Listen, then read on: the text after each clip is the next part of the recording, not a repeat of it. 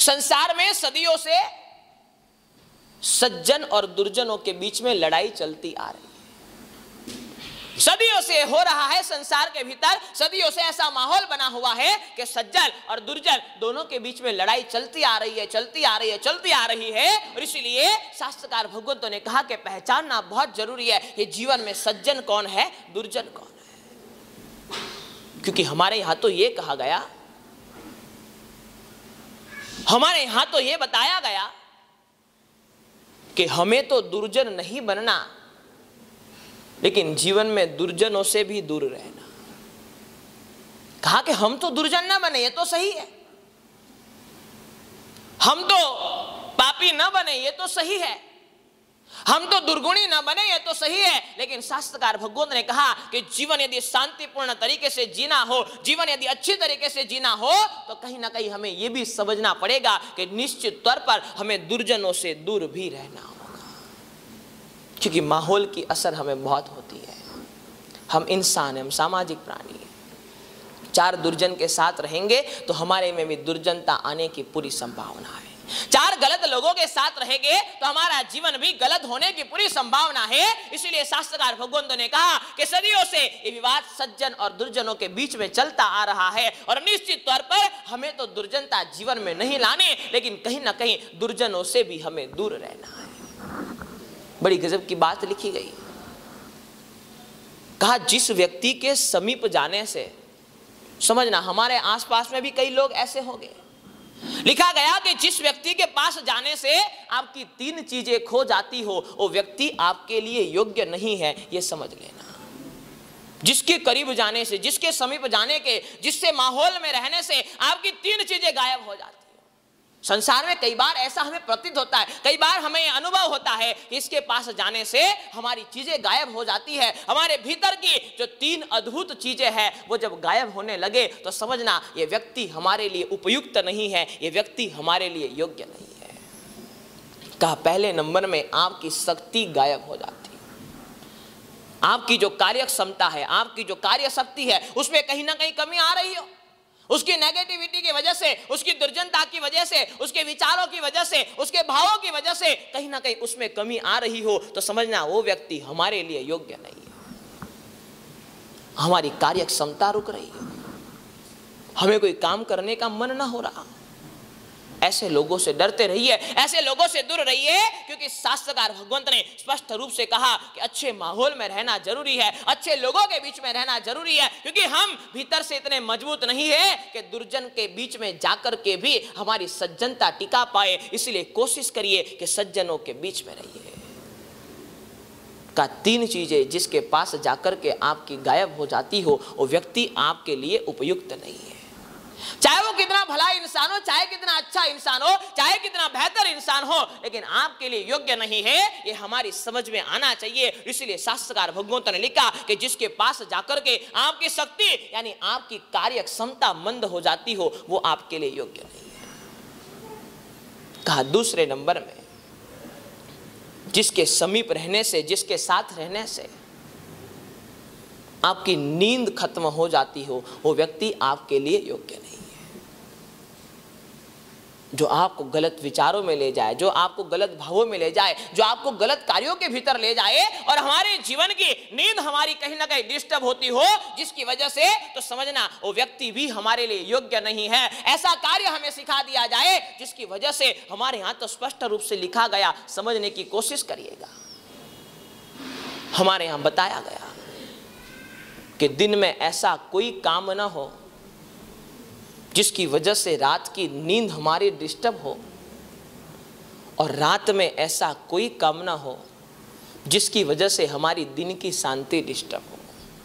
जीवन जीने का है, तरीका है, जीवन जीने का है फॉर्मूला है कि दिन में हम ऐसा कोई काम ना करें, जिसकी वजह से कहीं ना कहीं हमारी रात की नींद डिस्टर्ब हो जाए और रात में ऐसा कोई हम न काम करें, जिसकी वजह से कहीं ना कहीं हमारी दिन की शांति भंग हो जाए। और इसीलिए शास्त्रकार भगवत ने कहा, समझना, नींद कब जाएगी? जब कहीं ना कहीं आपके जीवन की शांति जाएगी तो नींद भी चली जाएगी। इसलिए शास्त्रकार भगवंतों ने स्पष्ट रूप से कहा कि ऐसे व्यक्तियों से दूर रहिए, ऐसे व्यक्तियों से दूरी बनाकर रखिए, जिसकी वजह से कहीं ना कहीं आपके जीवन की तीन चीज़ें डिस्टर्ब होती हो। सबसे पहले नंबर में आपकी कार्य क्षमता आपकी शक्ति डिस्टर्ब होती हो। दूसरे नंबर में आपकी नींद डिस्टर्ब होती हो। और तीसरे नंबर में आपकी हँसी डिस्टर्ब होती हो। आपका आनंद चला जाता हो। कई बार ऐसा अनुभव हमें होता है जीवन में कि हम हंस रहे थे, मुस्कुरा रहे थे, आनंदित थे, लेकिन वो व्यक्ति जैसे हमारे समीप आया, हमारा आनंद चला गया। और व्यक्ति के ओरा में जैसे हम आए और व्यक्ति के माहौल में जैसे हम घुसे, और व्यक्ति के आसपास में जैसे हम आए, हमारे भीतर का आनंद चला गया, हमारे चेहरे की मुस्कुराहट चले गई, हमारे मुख की प्रसन्नता चली गई। इसलिए शास्त्रकार भगवत ने कहा कि वह व्यक्ति से भी दूर रहिए, जिसके पास जाने से आपका आनंद चला जाता। मैं तो कई बार कह चुका हूँ, जीवन है आनंद के। लिए जीवन का एक ही लक्ष्यांक है, जीवन का एक ही गोल है कि जीवन आनंदमय हो और आनंद ऐसा जिसकी वजह से न हमारा नुकसान हो, जिसकी वजह से न सामने वाले का नुकसान हो। ऐसा जो निर्दोष आनंद है, वही आनंद लेने के लिए तो यह हमें जीवन मिला है और यहाँ आकर के हम आनंद न ले पाए तो फिर किया क्या जीवन में? प्राप्त क्या किया? प्राप्ति क्या हुई हमें? हम क्या पाए जीवन में? यहाँ आकर के यदि हर पल आनंद न ले पाए, इसलिए शास्त्रकार भगवंत ने कहा कि साधु पद इतना ऊँचा है, क्योंकि साधुता के भीतर ये ताकत है जो हर पल आनंद में रह सकते हैं। संसार तो समस्याओं से घिरा हुआ है। संसार तो स्वार्थ से घिरा हुआ है। हर एक व्यक्ति समस्या से ग्रसित है, हर एक व्यक्ति स्वार्थ से ग्रसित है, बिना स्वार्थ कोई किसी के साथ बात तक नहीं करता। ये हालात आपके संसार के हैं। इसलिए शास्त्रकार भगवंत ने कहा, ज्ञान सार के भीतर महामहोपाध्याय यशो विजय जी महाराज ने कहा कि समझने की कोशिश करिएगा, साधुता का आनंद अद्भुत है, गजब है, ज़बरदस्त है और साधु हर पल को आनंदित बना पाता है। इसीलिए कहा कि जिस व्यक्ति के पास जाकर के आपका आनंद क्षीण होता हो, आपका आनंद कम होता हो, आपके आनंद में कहीं ना कहीं कमी आती हो, समझना, वो व्यक्ति हमारे लिए उपयुक्त नहीं है। सज्जनता और दुर्जनता की लड़ाई है। दुर्जन शायद संख्या में ज़्यादा है। दुर्जन शायद क्वांटिटी में बहुत ज़्यादा है।